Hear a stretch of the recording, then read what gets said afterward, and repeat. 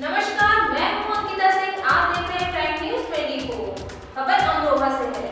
उत्तर प्रदेश के जनपद अमरोहा के क्षेत्र, गजरौला के ग्राम नारानगर में गजरौला पुलिस ने चलाया शराब का सेवन न करने के लिए जागरूकता अभियान। बता दें कि कोतावली क्षेत्र, गजरौला के अंतर्गत आने वाले ग्राम तारानगर में शिव मंदिर पर समस्त पुरुषों व महिलाओं तथा बच्चों को शराब के संबंध में समस्त ग्रामवासियों को बुलाकर जागरूक किया।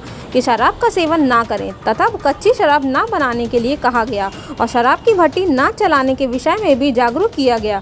ग्रामवासियों को हिदायत दी गई कि यदि कोई शराब बनाएगा, बेचेगा या पिएगा तो उसके विरुद्ध कानूनी कार्रवाई की जाएगी। गाँव की सभी महिलाओं व बच्चों ने भी शराबबंदी अभियान में सहयोग करने का आश्वासन दिया। इसी बीच एक विशाल नाम के बच्चे ने कहा कि मैं बड़ा होकर पुलिस बनूँगा तथा शराब बंद करूँगा। जागरूकता अभियान के दौरान प्रभारी निरीक्षक आरपी शर्मा ने बच्चों को प्यार बांटते हुए बिस्किट व टॉफी भी वितरित की।